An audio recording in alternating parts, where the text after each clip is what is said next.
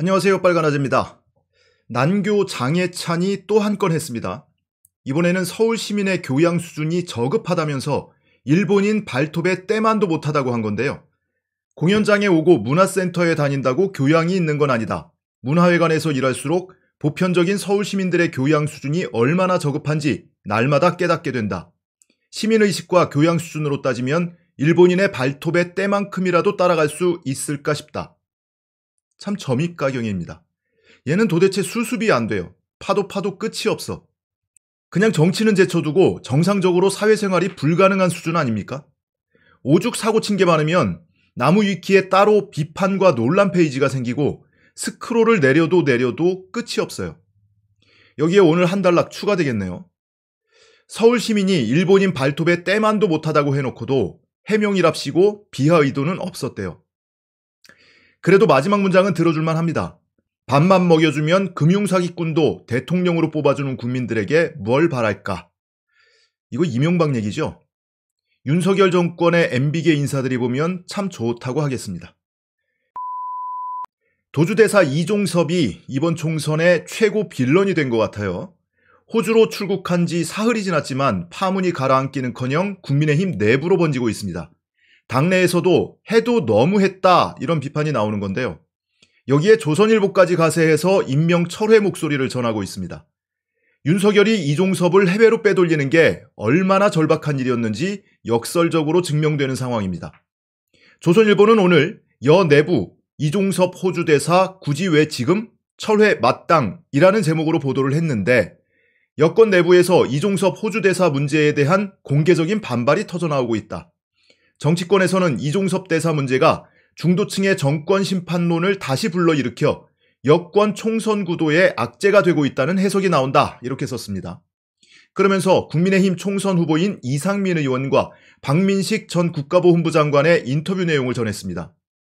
MBC 김종배의 시선 집중에 출연한 이상민 의원은 굳이 왜 총선을 앞두고 이종섭을 대사로 임명하냐고 비판했습니다.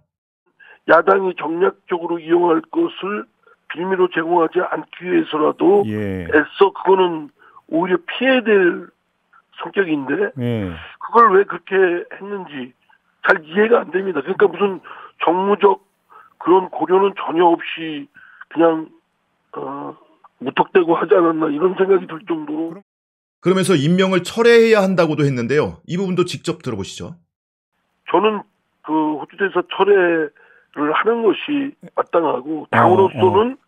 그런 것도 검토를 해볼 만하다고 생각됩니다. 음, 아 그렇게 물론 이제 거고? 대통령이 뭐 임명하고 인사권을 행사한 부분에 대해서 있지만 네. 사람이 하는 일이 뭐 100%다 어, 어, 순백처럼 오를 수는 있겠습니까? 또또 또 과오란 미처 보지 못한 부분도 있기 때문에 네. 사전에 그런 일이 없었으면 제일 좋겠지만 사후 그런 일이 생겼다면 한다면 음, 음. 사후라도 음. 빨리 바로잡는 것이 필요하다고 생각됩니다. 서울 강서울에 출마한 박민식 전 국가보훈부 장관도 불교 방송에 출연해서 이종섭 호주 대사 임명을 두고 아쉽다고 했는데요. 야당이 공격할 게 충분히 예상되는데도 깔끔하게 정리하지 못하고 부임을 했다. 본인이 해명을 했으면 한다. 이렇게 말했습니다. 정무적인 차원에서는 상당히 아쉬운 측면이 있다라고 어, 생각을 합니다. 네. 왜냐하면 방금 막말 논란 비슷하듯이 지금 뭐 선거가 불과 한 달도 채 남지 않은 상태지 않습니까? 그렇죠. 그런 대사 부임 시기를 물론 이제 외교 관계가 또 촉, 그 촉박하게 가고 이런 사정은 있겠지만은 음. 좀 깔끔하게 여기서 정리를 하고 어, 또 부임을 했으면 네네. 어땠을까 하는 아쉬움이 있는데, 네네. 어, 또, 뭐 그런 부분은 어떻든 우리 이종섭 전 장관께서 또 본인이 좀 적극적으로 어, 좀 해명을 해주면 음. 하는 바램도 좀 가지고 있습니다. 예. 여당 내부의 발언을 전한 거지만 조선일보가 이런 인터뷰를 다시 기사화한다는 거는 이종섭 빨리 정리해라 이런 의도가 깔린 걸로 봐야죠. 실제로 이 기사 말고도 또 다른 기사에서는 여당 후보들과 직접 인터뷰한 내용을 보도하기도 했습니다. 이게 다 오늘 쏟아진 기사들이에요.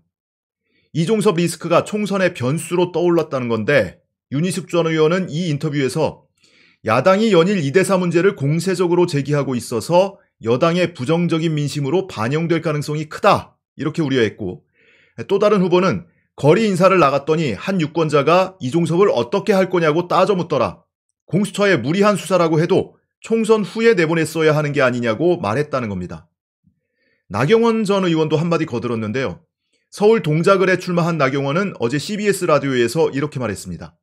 이종섭 장관이 호주하고 앞으로 안보 파트너, 주요한 안보 파트너이고 또 방산 수출의 대상국이기 때문에 이제 이종섭 장관이 적임자라고 보내신 것 같은데요. 그래서 이제 급한 마음에 하셨는데 이 절차 같은 걸 좀 매끄럽게 해야 되는데 음. 영 절차에 있어서 아쉽고요.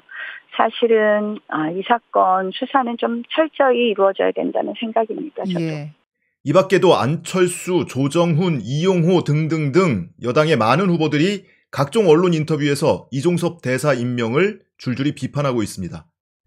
한 이틀 입 닫고 지켜보니까 여론이 심상치 않다 이거죠. 여기에 대해서 용산에선 뭐라고 합니까? 문제 없다. 오히려 공수처와 야당, 언론이 벌이는 정치 공작이다. 아니 공작인 줄 알면서 왜 대사로 임명하고 왜 출국금지 해제했습니까? 한동훈도 용산 눈치만 보면서 아무 소리도 못하고 있죠. 후보들은 죽겠다고 난린데 윤석열한테 뭐라고 말을 못해. 여당이 총선에서 지고 나면 용산 책임론을 제기하지 않을까. 아무튼 팝콘 각입니다. 오늘 영상은 여기까지입니다. 시청해주셔서 감사합니다.